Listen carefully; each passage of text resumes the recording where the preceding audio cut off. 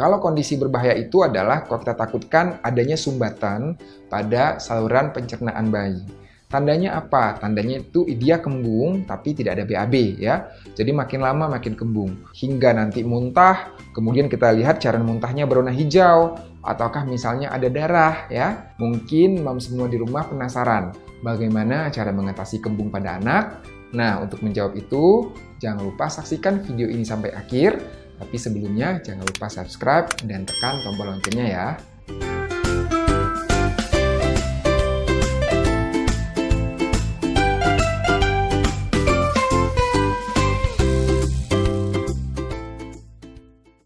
Penyebab utama bayi kembung adalah karena proses pematangan saluran cerna bayi yang belum sempurna seperti orang dewasa.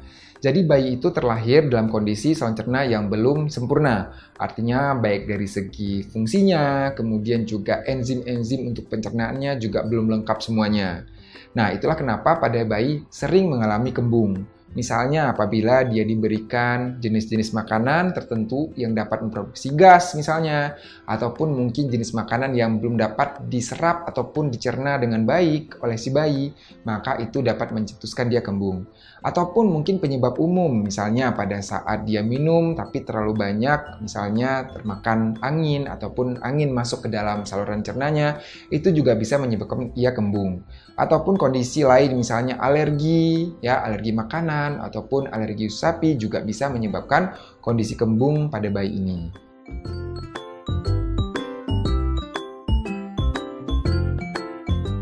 Nah, gejala bayi kembung ini ya umumnya adalah yang pertama perutnya itu terlihat membuncit, kemudian kita lihat juga perutnya itu bisa keras, bayinya juga sering kentut.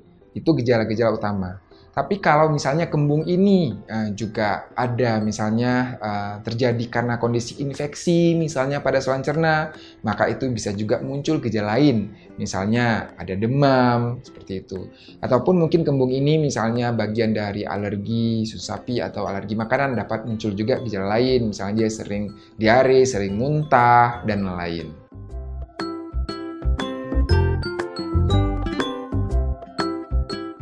Pertama harus dilihat dulu ya, kembungnya itu karena apa. Karena tentunya berbeda penyebab maka penanganannya juga berbeda.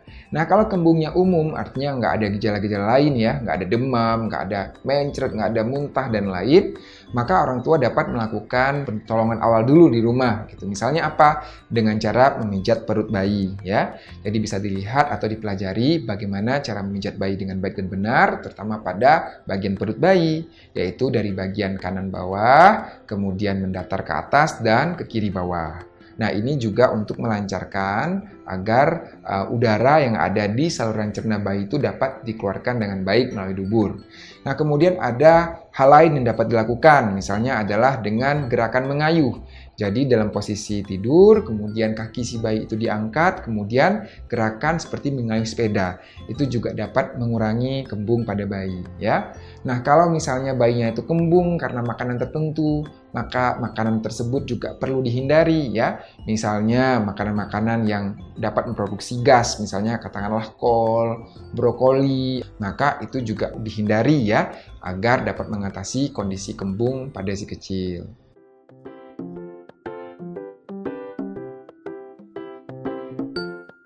Kalau kembungnya itu disertai dengan gejala lain, misalnya apa? Demam, itu kadang-kadang ada infeksi pada saluran cerna bayi.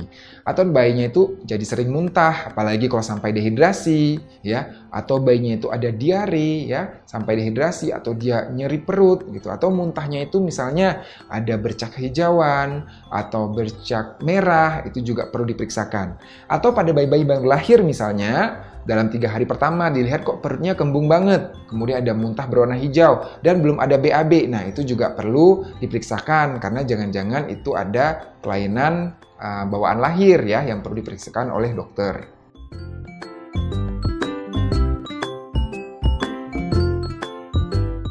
Pertama adalah kita hindari pencetusnya ya. Kalau pencetusnya tadi karena makanan tertentu, maka itu perlu dihindari. Kalau penyebabnya adalah karena infeksi, maka infeksinya yang perlu diatasi ya. Jadi intinya adalah kita mengatasi penyebabnya tersebut gitu ya. Nah, adapun obat-obatan misalnya obat anti muntah ya, itu dapat diberikan uh, dan dapat membantu juga untuk mengurangi um, kembung pada bayi ya untuk membantu motilitas atau pergerakan dari saluran cernanya. Tapi tentunya obat-obatan tersebut harus sesuai dengan dosis dan petunjuk dari dokter.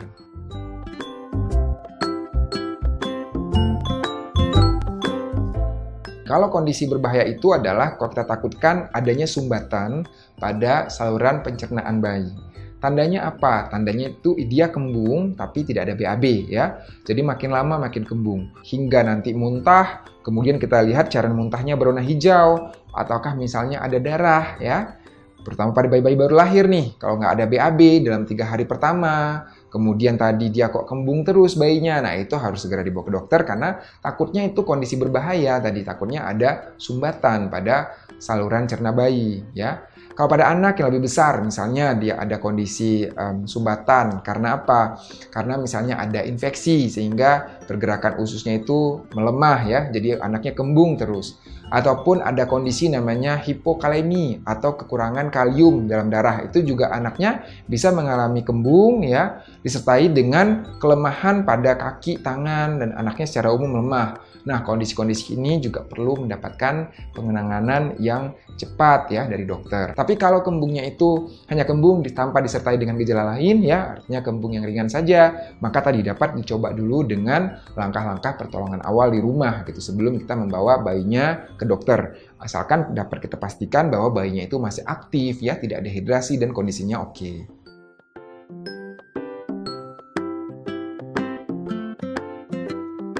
untuk bayi 6 bulan ke atas ya yang perlu yang perlu dihindari dulu yang pertama makanan-makanan yang dapat menimbulkan gas misalnya kol brokoli misalnya pisang yang masih muda, nangka, dan lain itu perlu dihindari. Kemudian makanan-makanan yang sifatnya juga sangat pedas ataupun sangat asam itu juga perlu dihindari ya. Kalau untuk mengatasi kembung sendiri sebenarnya memang tidak ada suatu jenis makanan yang memiliki uh, bukti yang jelas ya untuk mengurangi kembung pada bayi ya. Tapi uh, jenis makanan seperti makanan yang mengandung jahe, kunyit itu juga bisa melancarkan atau membuat um, perut atau saluran cerna itu si bayi itu atau anak merasa lebih nyaman. Tapi tentunya juga tidak berlebihan ya, artinya hanya ditambahkan saja karena uh, zat tersebut seperti jahe atau kunyit juga tidak boleh diberikan dalam jumlah terlalu banyak ya untuk bayi. Jadi hanya ditambahkan sedikit. Nah, makanya lebih baik memang kita menggunakan uh, obat-obat luar saja ataupun dengan memijat bayi karena itu lebih aman sebenarnya ya, tidak masuk ke saluran cerna bayi dan tidak diserap. Demikianlah penjelasan saya mengenai kembung pada bayi, kapan kita harus waspada dan kapan kita dapat melakukan penanganan pertama di rumah, serta bagaimana penanganan yang dapat dilakukan oleh mam semua di rumah. Jika dirasa video ini bermanfaat, jangan lupa share ke mams yang lainnya. Dadah!